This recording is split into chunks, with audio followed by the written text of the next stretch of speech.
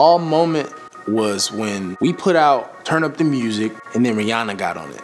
That was a all moment. I was like, wait, because nobody knew. Nobody knew about that. Him and her was in the studio, and he that's when he got on the Cake remix, and then she got on the uh, on the Turn Up the Music remix.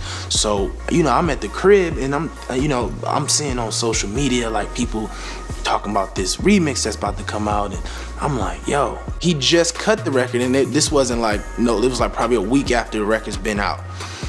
Man, she got on that record. I'm like, wow, wow. I don't have a record with Rihanna, but technically I do. Like it felt like I had a record with Rihanna just off that. So, you know, I didn't know how to take it, you know, because it was still a real heated type moment for the people. You know what I'm saying? They might have got over it, but the people wasn't ready for that yet. So that I didn't know if it was gonna be good or if it was gonna be bad.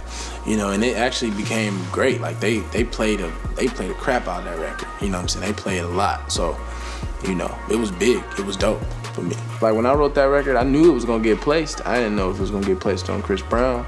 I didn't know how big it was gonna be, but shit, I knew it was gonna get out of there. That's the whole point of writing songs. You write records to get them shits out the fucking studio. You know what I'm saying? To an artist to get them out to the world. But now I, I, I am excited when I see girls dancing to my music. You know, it's my song. I'm in the club. I'm throwing money. You know, we all having fun. This is my record. We did this shit in the studio just like organically. Just was like, you know, because people be thinking so much be happening, and it's like, man, nah, we was just making records. We were working. We grinding, man. We we wasn't doing no crazy shit. Like, you know what I'm saying? We was in the studio grinding. People be thinking that it's just some elaborate party. Sometimes it do be parties, it be cracking, but those particular times we was starving, grinding, you know, putting in that work.